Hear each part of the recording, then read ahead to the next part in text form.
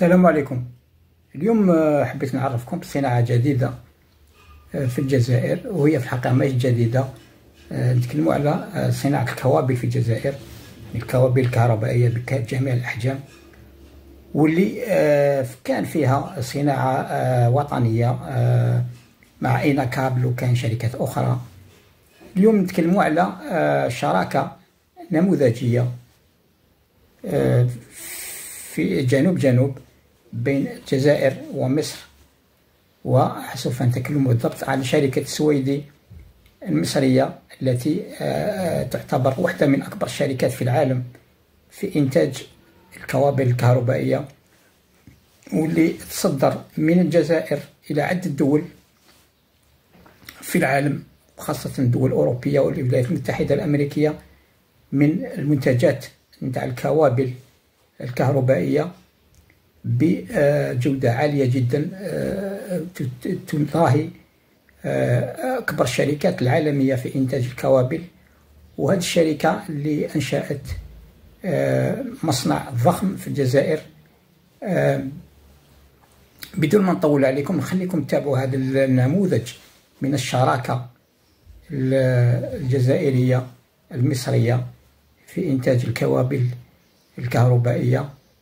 نخليكم تتابعون الفيديو وإلى موعد آخر. والسلام عليكم.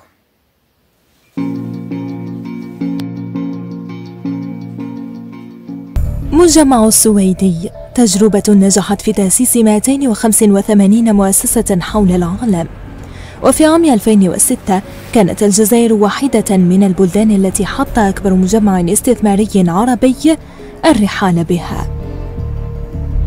عام 2008 بدأنا بصناعة الكابلات الكهربائية ذات الضغط المنخفض.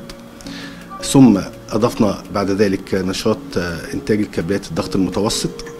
ثم أضفنا لأول مرة داخل الأراضي الجزائرية كابلات الضغط العالي الأرضية ال 60 كيلو فولت ثم أيضا أضفنا كابلات ال 220 كيلو فولت الأرضية لأول مرة داخل الأراضي الجزائرية. ثم أضفنا من بعد ذلك آه، كاستثمار إضافي آه، كابلات ال OPGW الهوائية.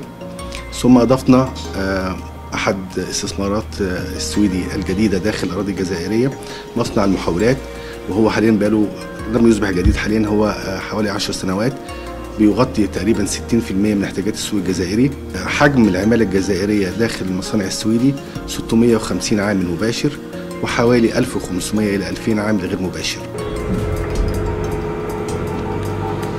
نجح المجمع في اقتحام عديد المجالات. الزراعة والصناعة الخفيفة والثقيلة السياحة الطاقة ومجالات أخرى تراهن عليها حكومة الجزائر هي كذلك فما هي خطة فرعه بالجزائر لاحقا على غرار صناعة الكابلات الكهربائية؟ لدينا طموح ورغبة أكيدة في تنويع استثماراتنا داخل الأراضي الجزائرية سواء في مجالات آه، آه، المشروعات آه، المياه زي تحلية المياه معالجة المياه مشروعات الطاقة الشمسية ونحن داخلين فيها جدا آه، بقوة مع آه، الجزائر كشريك أصيل في هذا المجال أيضا آه، لدينا أفكار وخطط واضحة ومعلنة أيضا للاستثمار في في مجال الزراعي في المجال السياحي وأيضا في مجال الإسكان والبنية التحتية. منذ أعوام أصبحت آلاف الشحنات سنويا تنطلق من عين الدفلة المقر الرئيسي لإنتاج المؤسسة نحو قائمة عديدة من بلدان العالم.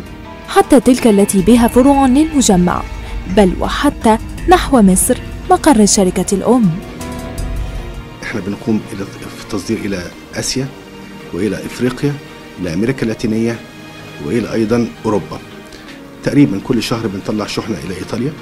كذلك بنصدر إلى الولايات المتحدة الأمريكية كأول مصدر للمهمات الكهربائية إلى الولايات المتحدة الأمريكية من الأراضي الجزائرية. بالإضافة أيضا إلى آه، دولة تشيلي ودي أول مرة آه، بيتم التصدير ليها كمهمات كهربائية من الأراضي الجزائرية. عندنا في مصر مصانع لكن إحنا بنمثل الجزائر والمنافسة في في مجال المهمات لا تفقد الود.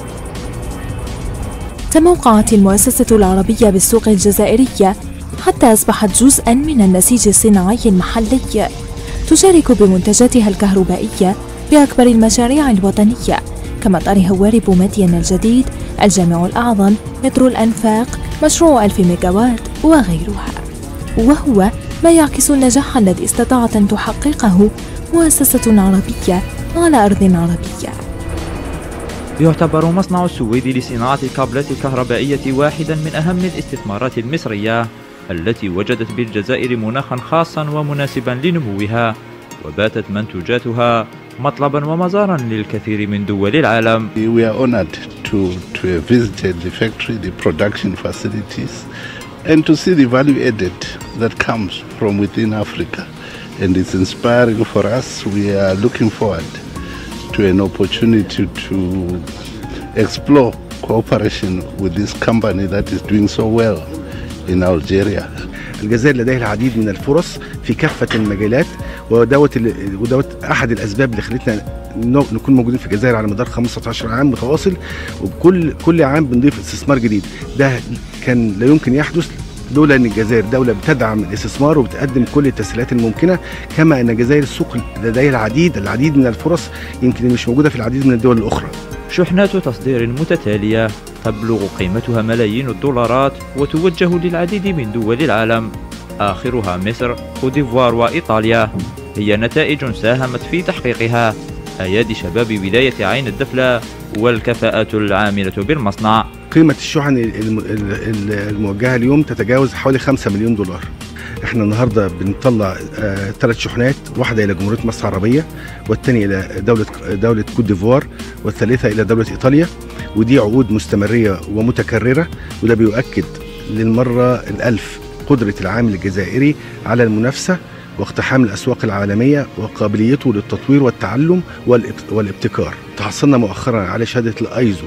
آه، 45001 وشهادة الأيزو آه، آه، 1725 وشهادة الأيزو 14001 وشهادة الأيزو ال 45000 و 17001 دول بيمكنونا من من اقتحام الأسواق الأوروبية لأنها أحد الشروط الأساسية للتصدير لأوروبا.